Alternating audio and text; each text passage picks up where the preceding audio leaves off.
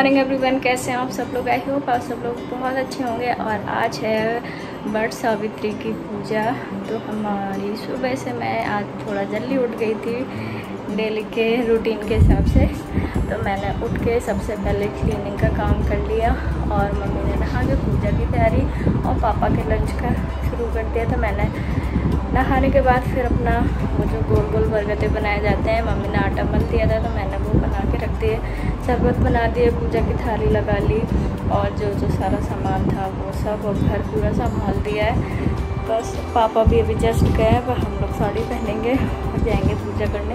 तो मैंने ये इस बार येलो कलर की साड़ी निकाली एकदम, हल्की सी है लाइट वेट ये मेरे फेरों के टाइम वाली है। तो मैंने इस बार सोचा गर्मी बहुत है और हैवी साड़ी पहनने में तो गर्मी भी बहुत लगती है और फिर ये अच्छी है, इसको कब पहनेंगे। तो मैंने सोचा इस बार इसको भी पहन लेती हूँ। तो बस मैं भी पहनूँगी और मम्मी भी भी पहनने वाली हैं। फिर दोनों लोग और हाँ ज्योति दीदी भी आएँगी। तो हम तीनों लोग तो मंदिर सामने बरगद का पेड़ है। तो जाके फिर पूजा करेंगे। और तब तक पानी भी नहीं पिया जाता है। जैसे कि करवा चौथ के व्रत में होता है कि उसकी तो रात में चाँद देख के ही पानी पिया जाता है। लेकिन इस वाले व्रत में ऐसा होता है, जब हमारी पूजा हो जाती है, उसके बाद हम वहीं पर बैठकर अपना व्रत खोलते हैं शरबत के साथ। तो आप लोग भी हमारे साथ बने रहिएगा। हम दिखाएँगे कि हमारे यहाँ मठ सावित्री की पूजा कैसे होती है। ना तो मिलते हैं आपको रेडी होकर तो देखिए फ्रेंड मैं होती हूँ बताइएगा मैं कैसी लग रही हूँ।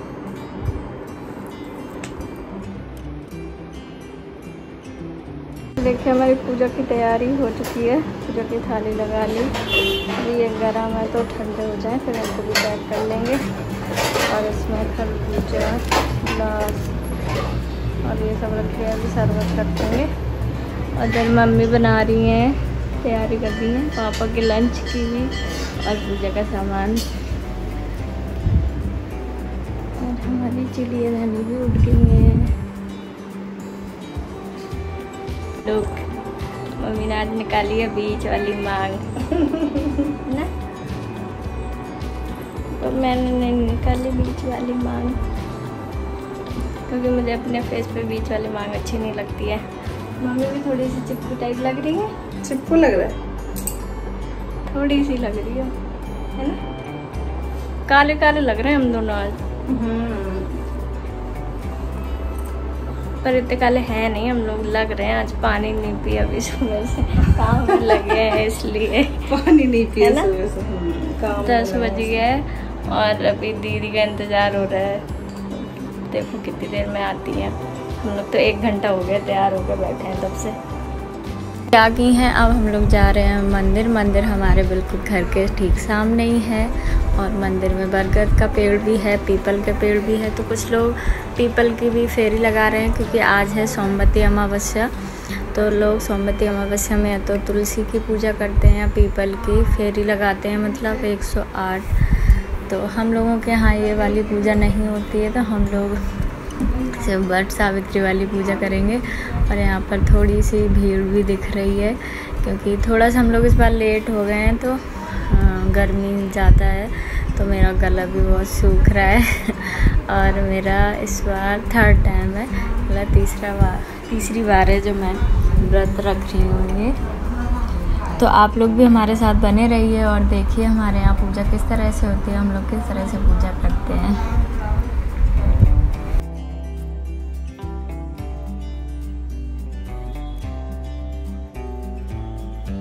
गौर माता बना ली हैं। अब हम लोग अपनी पूजा स्टार्ट करेंगे। गौर माता से हम लोग पूजा करने के बाद सुहाग लेंगे। और यहाँ पर हम लोग पूजा कर रहे हैं, कुछ लोग और कर रहे हैं। वो लोग बिहार साइड से बिलोंग करते हैं तो उनके थोड़े से रीति रिवाज अलग हैं, लेकिन कुछ कुछ कुछ मिलते जुलते ही हैं। तो इन लोगों के यहाँ पर ये पंखा भी चढ़ाते हैं और बरगद को मतलब पंखा करते हैं और ये पत्ते जो हैं, इस तरह से ये लोग जूड़ा में लगाती हैं, जो बरगद के पेड़ का पत्ता होता है।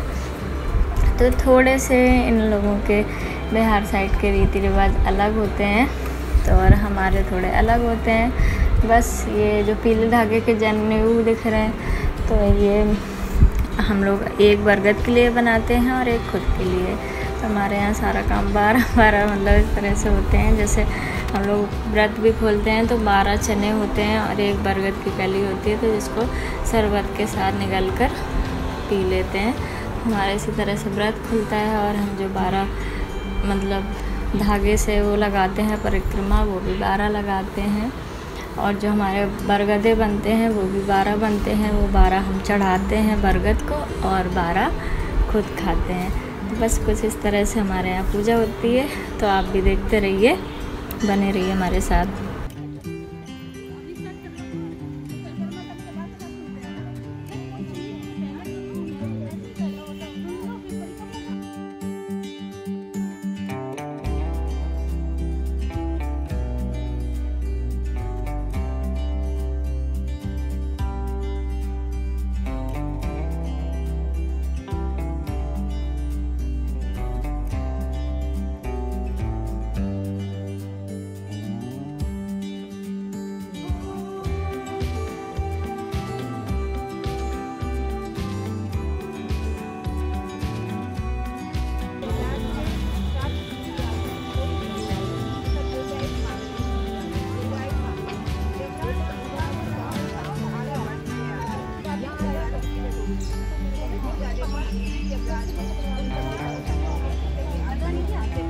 बारह फेरी लगाने के बाद हम लोग इस तरह से बरगद से गले मिलते हैं। ये भी हम लोग बारह बारी करते हैं और ये पूजा मेन होती है सुहाग के लिए मतलब पति के लंबी आयु के लिए। तो ये पूजा हम लोगों के यहाँ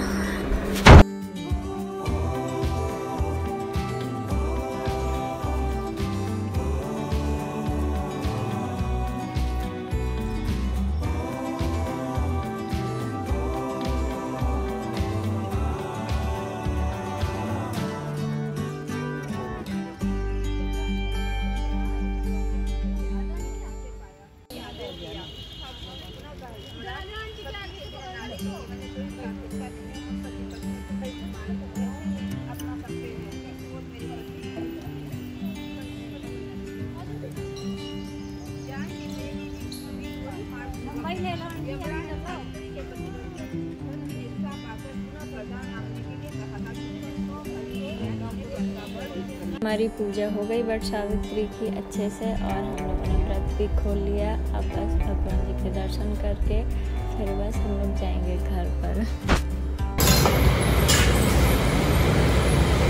पंडित जी पैसे वहाँ सारे गीले हो रहे हैं।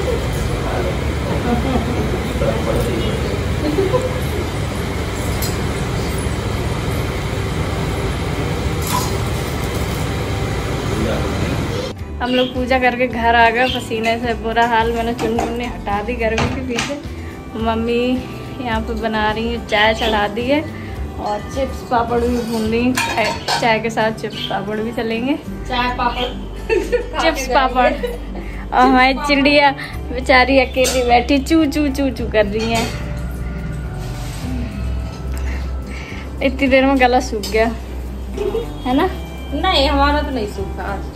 हाँ सूख रहा था मुँह सुबह से हमारा ज़्यादा सूखा हम्म। चिड़िया वाला गला है मेरा भी।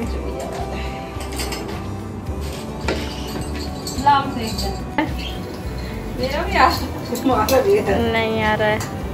अच्छे से पहनिए साड़ी। पिन लगा लो तो सही बन जाती है। खुले खुले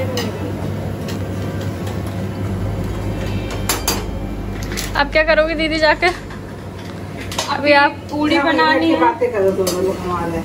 नहीं यहीं पे करेंगे सब बैठ के। पूड़ी बनानी है अभी खीर बनानी है अभी बेटू भी स्कूल से आने वाली है उसको भी खाना हम देंगे लोग अभी तो उमंग भी गुस्से में हम लोग सब्ज़ी है तो तो इतनी अच्छी बनी है। लेकिन आज हाँ सोमवती अमावस से तेल हल्दी नहीं खाते ना। हाँ हमने भी बिना हल्दी तेल की बनाई है। देखो पापा के लिए फिर टिफ़िन की बनाई थी मम्मी ने आलू टमाटर। तब हम लोग अपनी बना लेंगे। अब क्या भरता बनाओगी कि वैसे ही आलू तो ऐसे टमाटर और वो हमने डाल दो दो आलू काट के भी छोक देंगे। अब कच्चे ही छोंक देना तो फिर उसको वो कर लेना।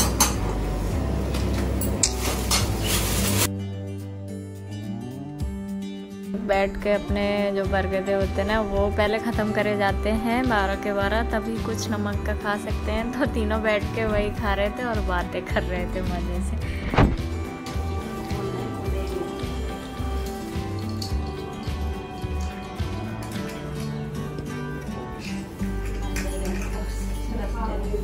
हल्का सा बंद जाता।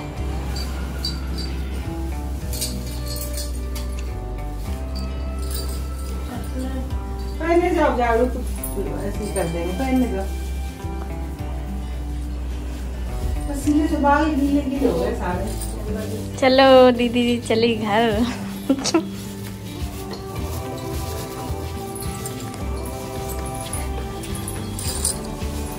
बहुत लेट हो गए हम्म, धूप देख के देखो अब मन नहीं करेगा काम करने का। उमस देखो कितना पानी चलो बाय।